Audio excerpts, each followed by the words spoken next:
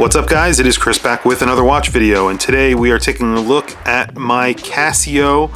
Again, this is the Casio that I filled with oil, this is the MRW. I filled it with, with um, silicone oil. I'll put a link to that video above so that you could check that out if you want to watch that before uh, you watch this video. Uh, at the end of that video, I said I would be sending this out to a watch repair shop who would test the water resistance for me. I actually sent it to a shop in Chicago.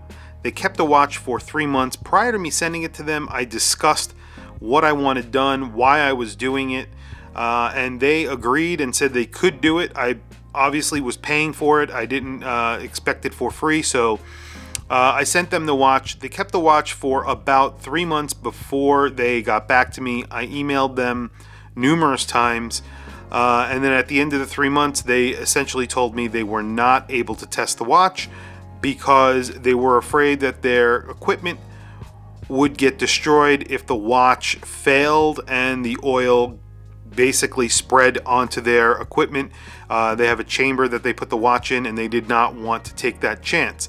Not sure why they told me to send the watch to them in the first place. It was a big waste of my time and frankly a waste of their time as well.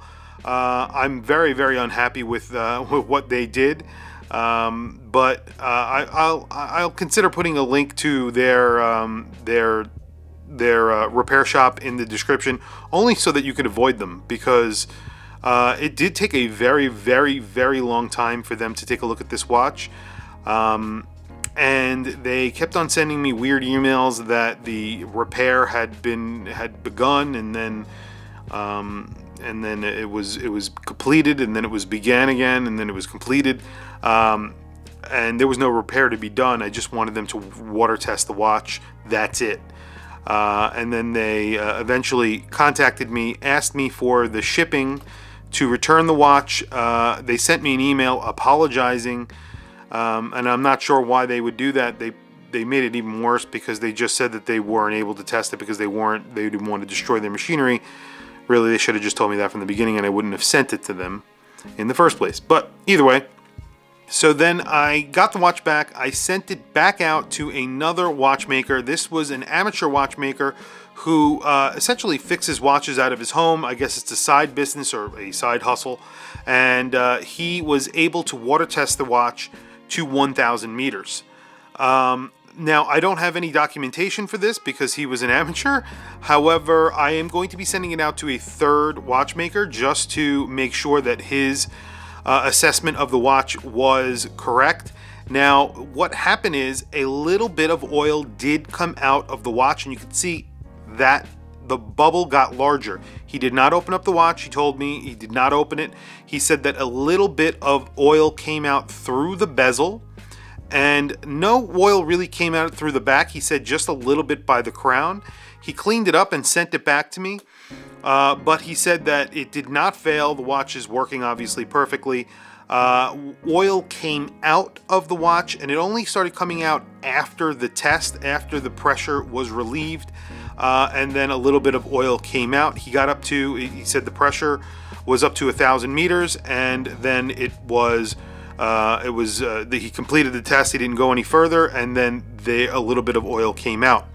So um, again, I'm not sure how scientific the test was.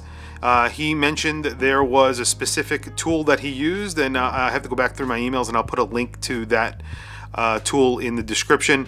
Uh, however, that was the result. So apparently, this is a 1,000 meter dive watch now.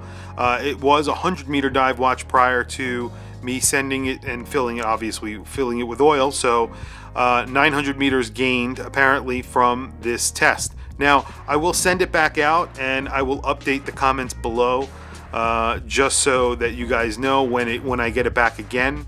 Uh, it doesn't cost a lot of money. This guy actually did it for only 30 bucks, but I, I, uh, I want to get it done by a more professional shop so that I have some paperwork to prove that my watch is a thousand meters. Uh, it's just really for my own uh, my own amusement, really, for, for no other reason. Anyway, uh, if you like this video, please don't forget to like, subscribe, hit the bell icon. Don't forget to follow me on uh, Instagram at WatchChrisBlog. Uh, also, there's some links in the description. There's actually links to this watch and the oil that I used. Uh, if you use those links to buy anything, uh, I am compensated by Amazon slightly for anything that you buy. You're not uh, charged anything from Amazon. Uh, everything remains the same price. It just uh, they compensate me slightly, and that is very appreciative because it helps support the channel. Uh, anyway, please leave a comment below, and I will see you in the next video.